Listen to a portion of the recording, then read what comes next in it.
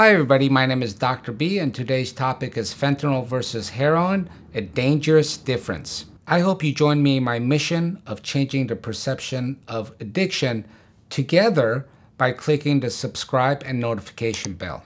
If you or a loved one needs help with addiction, please call me personally at 1 800 779 4715. Okay, let's get right into it. The title of this video and the question proposed to me is fentanyl versus heroin. Uh, what are the differences? And uh, this, is, this is broken up into three questions that was presented to me. Number one, how are fentanyl and heroin different from one another chemically? Number two, how is the use of fentanyl and heroin different? And number three, which is the one that I think is the most important one, that I want to get across. Why is fentanyl so dangerous? Uh, so the first part of the question is how is fentanyl and heroin different from one another chemically?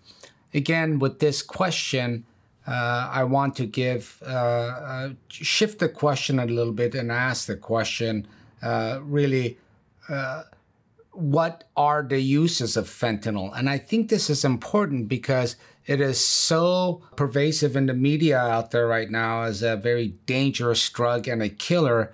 And people's initial presentation with the concept of fentanyl uh, comes through the overdose epidemic of opiates. And I'm going to use the term opiates, even though that means uh, natural uh, opium products versus opioids, which is synthetic. Throughout this video, I'm going to use the term opiates. So again, uh, fentanyl has uh, been now known as a very dangerous drug of abuse, of overdose and death, and being more responsible for heroin for overdose deaths. So I want to go back and kind of readjust our frame of perception of what these things are. Number one, uh, I'm going to use morphine as a third drug of comparison. Uh, essentially, all of these drugs are the same thing. They're the opiate class of drugs, or opioids if they're synthetic, and these are all kind of made in a lab. But I'm going to use opiates, the term opiates. Uh, morphine is essentially a natural opiate that's processed.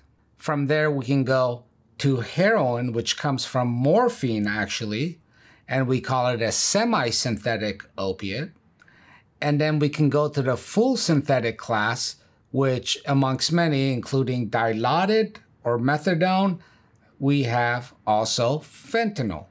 It is a fully synthetic opiate. There's differences in strength, and I'm going to, we use equivalency charts to compare these. Heroin is, I think, about two to five times stronger than morphine. Now, when you go to fentanyl, it's a hundred times stronger than morphine. That's a major difference. So the same amount is a hundred times stronger than morphine. It's good as a clinician and when we're using pharmaceutical grade products to understand these differences. Now let's take all three of those drugs. And all of those drugs have very positive therapeutic benefits in the right medical setting using the pharmaceutical grade product. I'm going to give you an example because my background is critical care emergency medicine type of things. And who uses fentanyl? Again, although we come across it now in the public perception as a dangerous drug of abuse, fentanyl is not dangerous when used in the clinical hands under supervision and at the pharmaceutical grade dosing because all we do is an equivalence to what we would use otherwise, maybe in some cases morphine. In fact, there's countries that still use heroin, pharmaceutical grade, for pain management of different kinds. Fentanyl it has a lot of value, not because it is so much more potent than morphine, but because of certain properties it has, like the quick onset of its effects and the fact that it wears off quickly. For example, gastrointestinal doctors use it for procedures because it comes on fast, goes off fast, and they can send the patient home that same day. In fact, it's ubiquitous and short procedural sedation and pain management across the board because of that property. In the emergency department or in the ICU, we also use it for the same reason. Let's say I have someone that comes in a car accident and I'm not sure what sort of brain trauma they have had. And I'm waiting for the neurosurgeon to do his assessment after I do my assessment. I need to keep this person intubated in a tube down their throat breathing.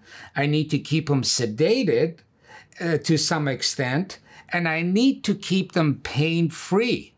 I choose fentanyl because I can turn off that fentanyl drip quickly and it wears off relatively quickly.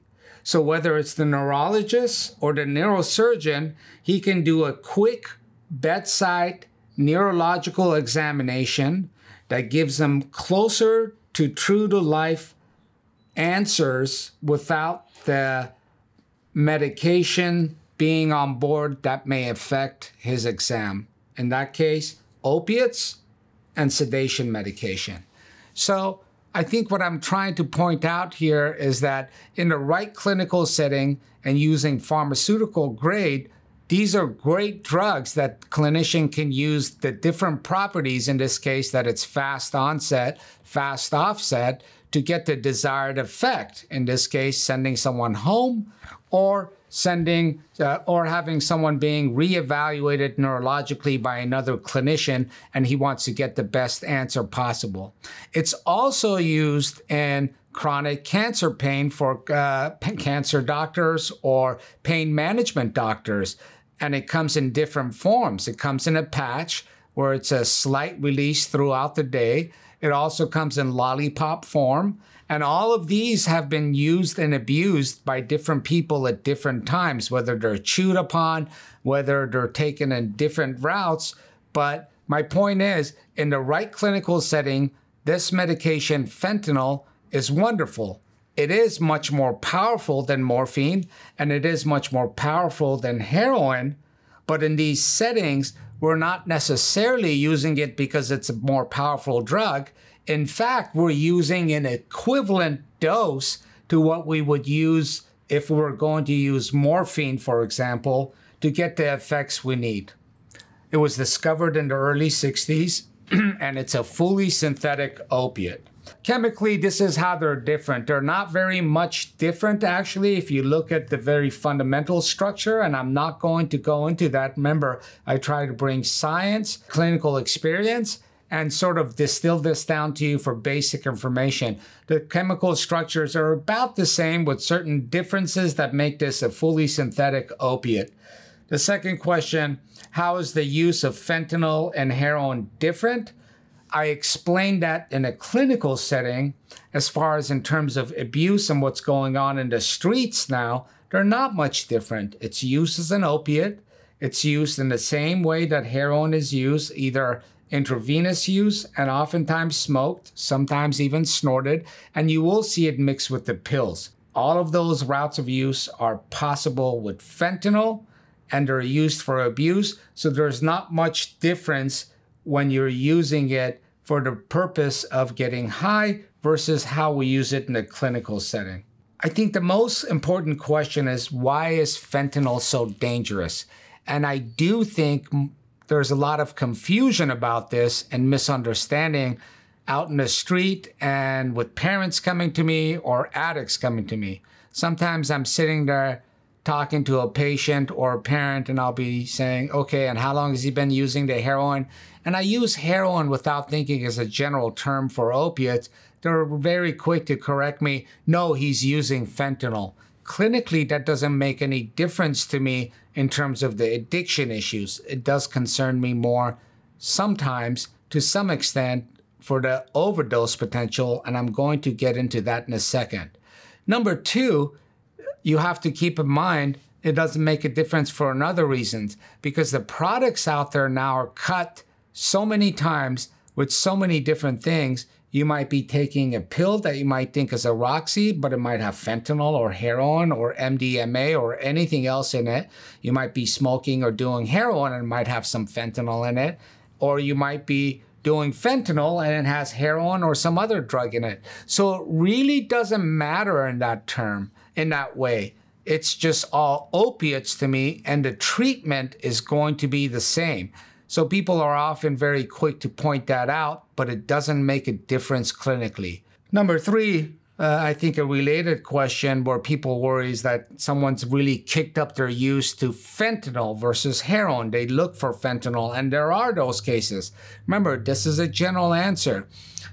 Is it more addicting? Does it mean you've stepped up in your addiction, let's say traditionally from pills to smoking it to intravenous use to heroin? To me, it doesn't because there's no solid evidence that fentanyl is more difficult to get off, is more addicting than heroin. Uh, there's uh, a lot of uh, anecdotal data out there. Mainly, people will be talking about it on the internet. Oh my God, I was on fentanyl. Some people will even say to me, this stuff lasts a lot longer. Aside from all of that, the data doesn't tell me that one is that much different from the other, whether it's fentanyl or heroin. It is much more deadly. Absolutely much more deadly. Why is it more deadly? Is it simply because it's so much more powerful? Well, I just said when we use it in a clinical setting, we are using pharmaceutical grade fentanyl, and the doses are equivalent measured doses. Why fentanyl is so deadly is because A, it's a much smaller dose than heroin or morphine or the pills that can really push you on the overdose and respiratory depression limit. And B, that dose is not measured in a pharmaceutical industry standard lab. Essentially, what I'm saying is you have a lot smaller material to work with, and you don't know where the stuff is coming from whether it's a uh, farm or a, a, a, sort of a makeshift laboratory somewhere in Mexico, South America, the United States, China. The issue here is that it can kill you a lot quicker if you mismeasure and pack the wrong dose. And the material you have to work with is a lot smaller than, let's say, heroin or morphine or any of the other pill oral products. That's what makes it deadly. Other than that, there's no particular property of fentanyl except the fact that it's so much more powerful. But more importantly, it's not coming from a pharmaceutical grade laboratory where the appropriate equivalent dose is measured to heroin or morphine. This is exactly the issue for all of the comments that I got from my Kratom videos with using quote unquote Kratom. When I say the word Kratom, I'm referring to whatever it is that you're buying on the internet, whether it's the right product, whether it's mixed with another product, and whether it's the correct dosing. This is what I am referring to Kratom. Now, I'm not comparing Kratom to fentanyl in terms of its addictive properties and its overdose properties. That's not what I'm saying. I'm saying the problem with kratom, whether the natural kratom has any therapeutic benefits, which I believe it does, that is not what is being supplied out there in public.